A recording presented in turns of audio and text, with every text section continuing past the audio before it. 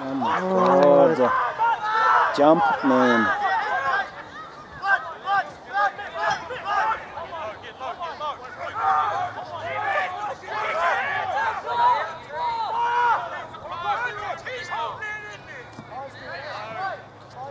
Lineouts are too close together.